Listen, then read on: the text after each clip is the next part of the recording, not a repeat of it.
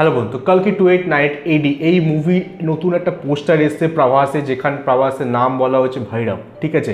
এটা আমাদের শিবরাত্রির দিন লঞ্চ করা হয়, তো এটা কিন্তু খুব মিনিংফুল আর এই বইটা কিন্তু শুধুমাত্র একটা ন্যাশনাল মুভি না প্যান ইন্ডিয়া মুভি এটা ইন্টারন্যাশনাল মুভিও চলেছে।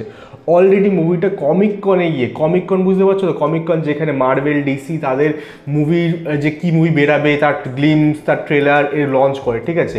কমিক কন হচ্ছে ওয়ার্ল্ড ওয়াইড প্রচারিত একটা বিশাল বড় প্ল্যাটফর্ম যেখানে স্পেশালি সুপার ন্যাচারাল এবং সুপার হিরো টাইপের মুভি লঞ্চ করা। সেখানে গিয়ে প্রথমবার ইন্ডিয়ান একটা মুভি লঞ্চ করা হচ্ছে ট্রেলার ঠিক আছে? তো বুঝতে পারছ মুভিটা স্টার্টিংয়েই একটা ইন্টারন্যাশনাল লেভেলে নিয়ে গেছে।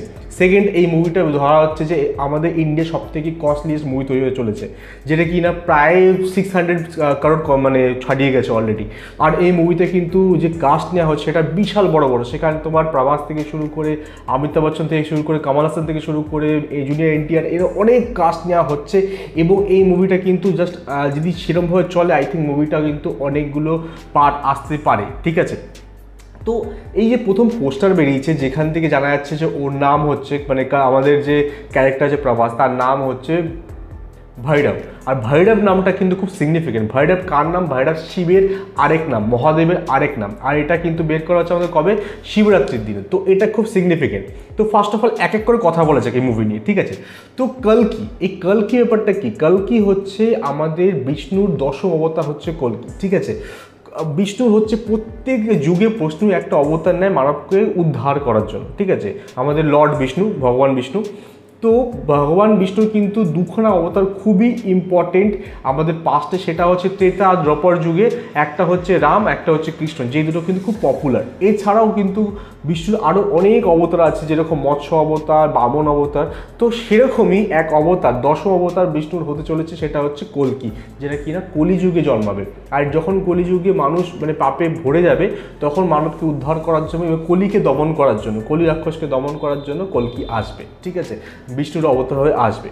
তো এই মুহূর্তে যদি প্রভাস আমাদের যে মেন ক্যারেক্টার সে যদি কলকি না হয় মানে বিষ্ণু অবতার না হয় তাহলে কলকিটা কে? সেটা কিন্তু একটা ইম্পর্টেন্ট বিষয় যাচ্ছে বিকজ এখানে ওর নাম যেহেতু দেওয়া হচ্ছে ভাইরাত তার মানে ও শিবের অবতার ধরা হচ্ছে।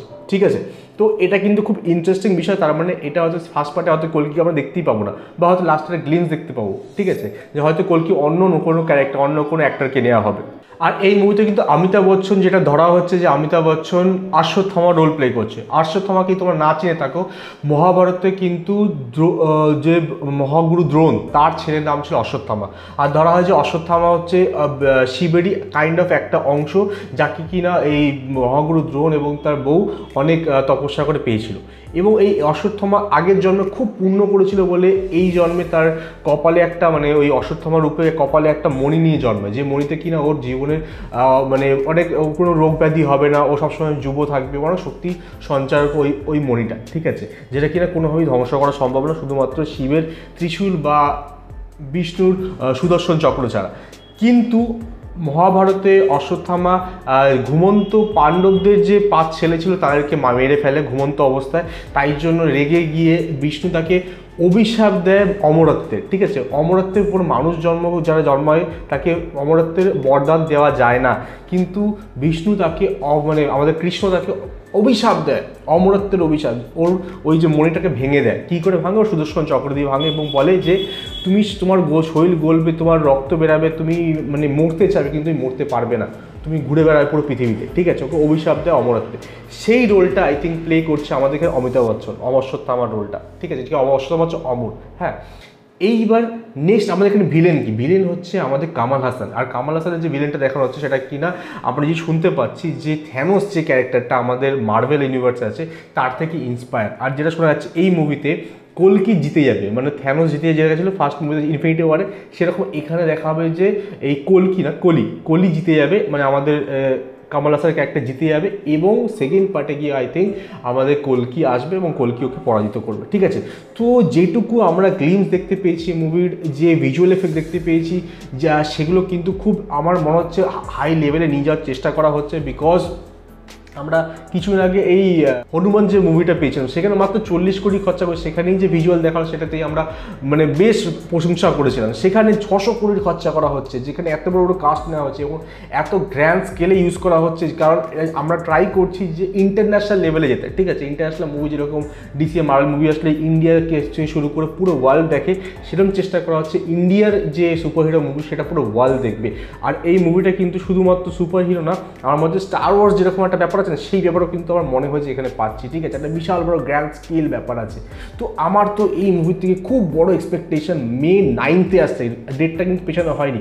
May nine two thousand twenty ফোরে কিন্তু রিলিজ করতে চলছি আর এই ডেটটা কিন্তু খুব সিগনিফিকেন্ট বিকজ জেনারেলি মার্বেল বড় সুপারহিরো মুভি রিলিজ করে এই সামার সিজনে মেতে আর এটা কিন্তু একটা ব্লকবাস্টার টাইম এই টাইমে মুভি কিন্তু সবসময় ভালো চলে। তুমি সেখানে ক্যাপ্টেন আমেরিকা সিভিল ওয়ার ধরে নাও বা Avenger Infinity War Avenger endgame ধরে নাও প্রত্যেকটা মুভি কিন্তু এই ডেটে রিলিজ করে মে মেয়ের স্টার্টিং থেকে রিলিজ করে এবং সেগুলো কিন্তু সুপার হিট হয়। ঠিক আছে? বিশাল কামি থাকে। পুরো ওয়ার্ল্ড ওয়াইড ঠিক আছে?